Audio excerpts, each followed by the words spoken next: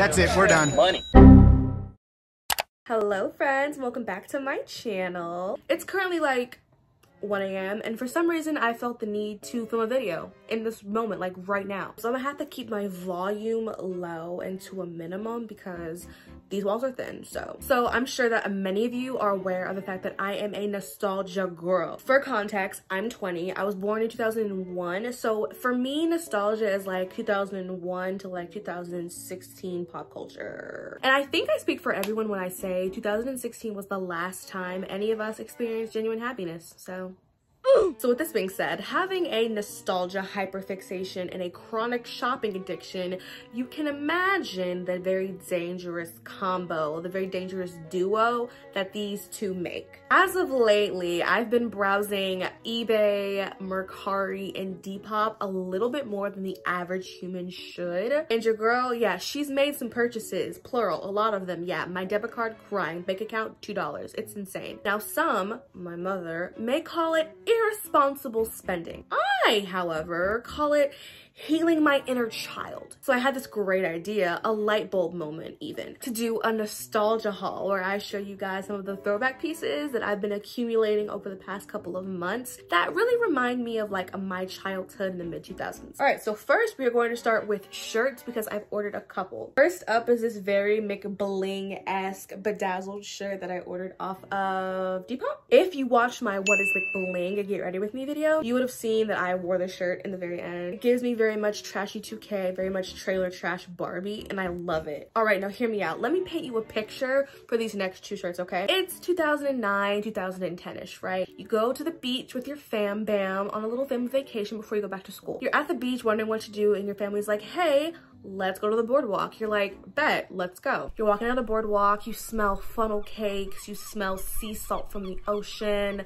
It's bright, it's sunny, everyone's having a good time, you're loving life. You see carnival games, attractions, vendors trying to come and get you to buy all their goods, but you spy one shop in particular, a t-shirt shop. You're in heaven. It's a store full of endless possibilities. You got it? You get the vision? You see what I'm saying? Okay, that is what I saw for these two shirts. I was scrolling through AliExpress, you know, as a bad on a budget does, and I saw this shirt and I was like, mm, I need that. No, because I need that. I love hot dads. I love hot dads and it's so real because it's true. Remember that mental picture I painted earlier? Yeah, I'm gonna need for you to keep envisioning this as I show you this shirt because personally I feel like this is something I would have bought at like the Jersey Shore or something, right? It's a tank top that says, I am not perfect, but I am limited edition. It's so corny and so cheesy that I couldn't help myself. I had to add it to the cart. I did, I had to. That is all for the shirts and now we are moving on to the bottom. Starting off with probably what are some of my favorite purchases of like this entire haul. My Victoria's Secret pink yoga pants. Mid 2000s Victoria's Secret pink is an era in fashion that will forever be unmatched until the end of time. Like, like if you know, you know. All the hot girls wore Victoria's Secret pink. Was I one of them? No, because I was too young and my parents saw that it was too grown for me,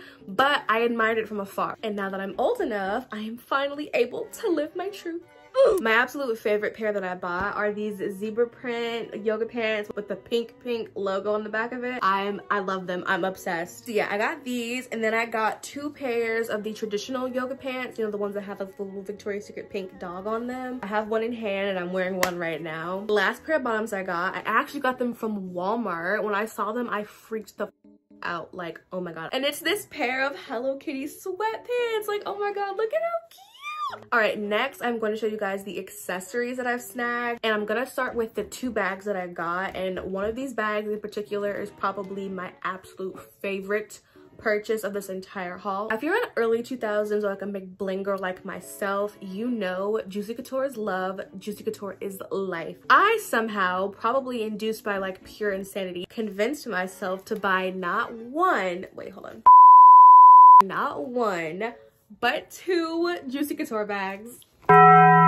So I bought my first Juicy bag off of Depop. I believe I got it for like 80-ish dollars. But it just says Juicy Couture with the little traditional terrier dogs uh, with the Love G&P. And it has a little J Juicy embroidery on the back and a leather finished bottom in perfect condition. And of course, it would not be an official Juicy bag if it did not come with the I am the fairest mirror on the inside. All right, I talk way too much and I am running out of storage, so I gotta speed this up. The next bag, this is my absolute favorite bag. Before I ended up buying the other bag, I saw another bag like this one on eBay, but I was too scared to commit and it ended up selling for like super cheap and I was so pissed off. I was on Mercari, if you know, like you can like save certain searches on Mercari and like whenever anyone posts a new item pertaining to that like filtered search, you can like get the notification and look at it instantly. So someone posted this juicy bag and I ran mama. I was i sprinted to Mercari i was like this bag is mine. I need it. I need it in my life right now. So this is the bag. I want to say this is a daydreamer but i could 100 percent be wrong. But when i say that this bag is in perfect condition like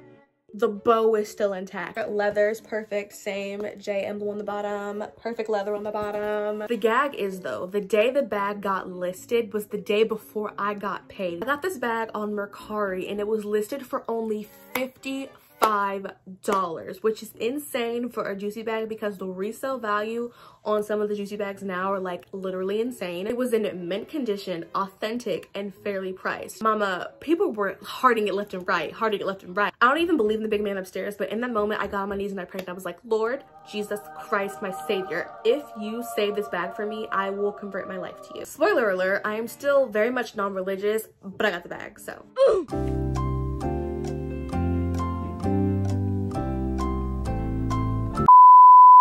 right, moving on. This next item is also a personal favorite of mine. It is something that I feel is very, very true to the mid 2000s. And if you were conscious around that time, you recognize this piece right here. And it is in I love haters hat. When I tell you that every teeny bopper celebrity had this freaking I love haters hat, this was a mid 2000s staple. Selena Gomez, Jennette McCurdy, Ariana Grande, Ashley Tisdale, like everybody had a variation of this freaking hat. I always wanted one growing up and I finally got one and I am living. You can see I literally have like an I love haters poster in the background. Like it's just like a traditional snapback hat, you know, very mid 2000s, which is good for me because I have a very large head and hats and I typically don't get along. I have like a more exaggerated and detailed video about this hat and like the history behind it on my TikTok. I have like a whole playlist full of like mid 2000s inspired videos. I have a fun time over there. You should go follow me. Do that like right now. All right, cool. This next item is a hat as well. When I saw it on eBay, I just knew in my heart of hearts that it was going to be mine. I knew that I needed this hat. And it is a hat that says, I love the situation from Jersey Shore. I like lost my mind when I saw this. Like I did not care if it fit or not which spoiler alert, it does not. Right now, it's literally just like a decoration for my room, but I don't care. I'm obsessed with it. I love it very much. I got this hat and my I Love Haters hat from eBay, by the way. I've mentioned it before. I am a trashy reality TV girl. Like Jersey Shore specifically is my crack, like crack to the vein. If you've watched my room tour video, which I'm assuming you have because you love me, right? Right? Yeah, I know. You would have seen that right behind me, I have like a whole photo collage shrine dedicated to Jersey Shore full of like a bunch of different pictures and stuff. I love it very much. You call it obsessed. I call it dedicated. Moving on to the rest of my accessories. I got not one, but two pairs of the iconic Kanye West inspired party shades. I got these two pairs off of AliExpress for like super cheap they light up. Like come on now. Once i find the energy somewhere deep down inside of me i will 100 percent be making a little party themed tiktok with these. I also got a couple necklaces and rings. The first one is this freak drip plate necklace. I saw this when i was scrolling through aliexpress and i got the nostalgic feels okay? It's super cute. I love it. I don't know how i'm gonna style it yet but i just knew i had to have it so. Next up i got this like brass knuckle necklace. Granted when i saw this i thought i was gonna be a lot bigger than this but this will do I got this necklace mainly because there's this like MySpace picture that I want to recreate so badly and the girl in it was like wearing this uh, brass knuckle necklace. And the last necklace I got is this cute little pixelated heart necklace that gives you very much like late mid 2000s, very much Minecraft, very much rawr XD. Now for this next item, mom, if you're watching this, which I'm sure you probably are, hey, love you so much but can you do me a favor and skip past this we're gonna give you some time to scroll past